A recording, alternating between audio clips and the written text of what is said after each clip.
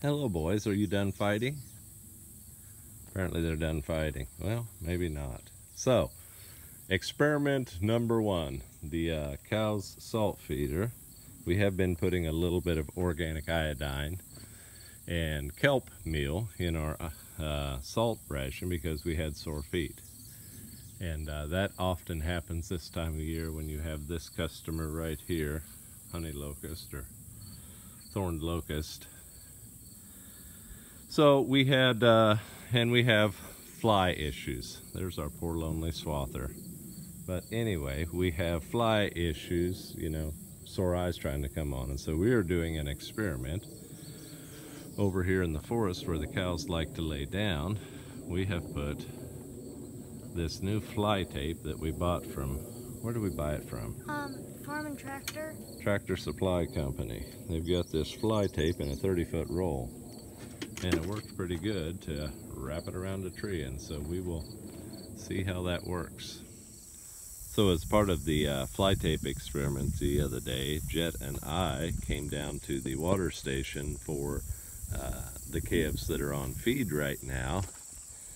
And uh, I robbed this idea uh, from a fellow YouTuber, but he came up with the bright idea of putting the sticky tape on plywood boards at the water station because yes, flies always hang out by the water.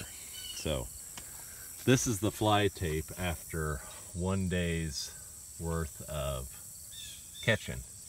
And for the record, last night we had a good rain. What'd we have, Jet? Um, I think an inch 90 hundredths. Yeah, an inch 90. Anyway, we had a good rain, and uh, the fly tape is still doing its job there. And so hopefully these are face flies and horn flies. Boy, Jet, we need to get it's a... pretty sticky still. I know it's sticky. It's still catching flies, but that is what they have done in a little over 24 hours. And so, you know, it would be nice probably to identify what kind of flies those are to see if they were, you know, face flies, horn flies, house flies. Maybe we need to figure that out, Jet. Maybe when we swap out the grippy tape, we'll figure out what kind of flies we're catching there. If we're just catching house flies, it ain't really worth the money. Well, they look small. Well, but if we're actually yellow. catching, so I'll just throw this question out here. We'll just zoom up here and see if anybody can detect the difference between face flies and horn flies. We'll have to do a little experiment on that. But anyway, yeah, they're catching a lot of flies. So thanks for watching, guys.